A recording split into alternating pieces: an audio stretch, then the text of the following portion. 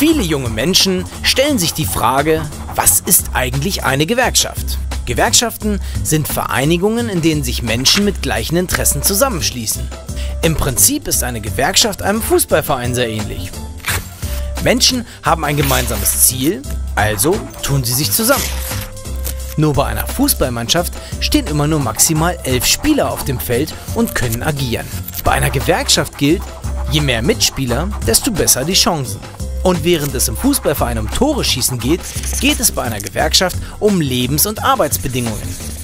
In einer Gewerkschaft schließen sich also Arbeitnehmerinnen und Arbeitnehmer zusammen, um ihre Lebens- und Arbeitsbedingungen besser mitgestalten zu können.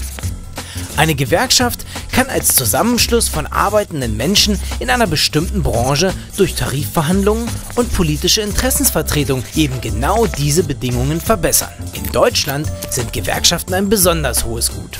Nach dem Zweiten Weltkrieg wurde im Grundgesetz das Recht verankert, dass sich Menschen in einer Gewerkschaft organisieren können.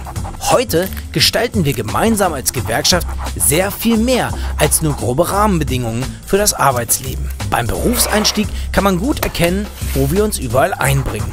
Bereits während der Schulzeit setzen wir uns dafür ein, dass das Bildungssystem in Deutschland weiterhin verbessert wird und nehmen dafür Einfluss auf die Politik. Am Ende der Schulzeit, wenn du darüber nachdenkst, vielleicht eine Ausbildung oder ein duales Studium zu beginnen, setzen wir uns vor allem in Tarifverhandlungen dafür ein, dass die Unternehmen ausreichend Ausbildungsplätze anbieten.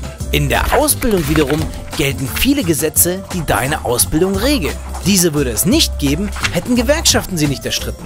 Um eine wirklich gute Ausbildung zu gewährleisten, arbeiten wir eng zusammen mit deiner Jugend- und Ausbildungsvertretung und deinem Betriebsrat. Am Ende der Ausbildung steht dann die Prüfung an. Damit diese auch fair und gerecht abläuft, sind Kolleginnen und Kollegen aus den Betrieben in den Prüfungsausschüssen vertreten, um sicherzustellen, dass alles mit rechten Dingen zugeht.